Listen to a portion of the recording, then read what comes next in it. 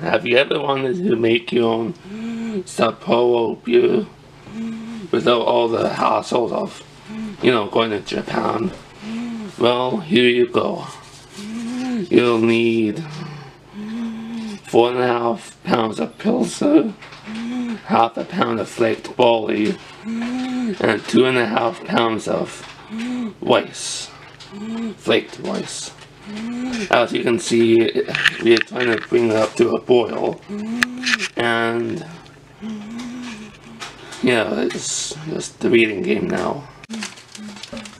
So once the temperature gets up to 160 degrees, add the first ounce of the Sorachi Ace hops, the first ounce.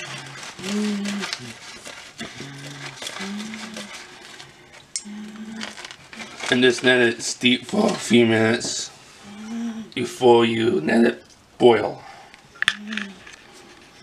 The ingredients will be in the description below.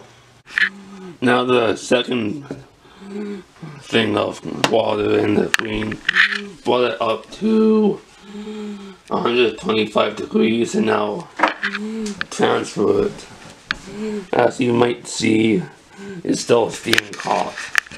So, so pretty much round three, that's what she said, at about 135 and a good an ounce of hops.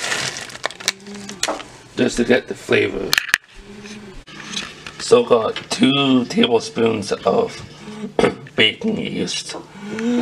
In the liquid that we drain off of the green bag. Just pitch the yeast. Yum, it looks delicious. And transferring the rest of the liquid from the pot to the carboy. Pretty much the yeast is starting to be active and pouring it in the jug which we kind of melted. But ma, this isn't like rocket science. This is homemade, not professional. You think we look like professionals? Add in the second package of the Sorachi Ace hops. Let's see if I don't spill it.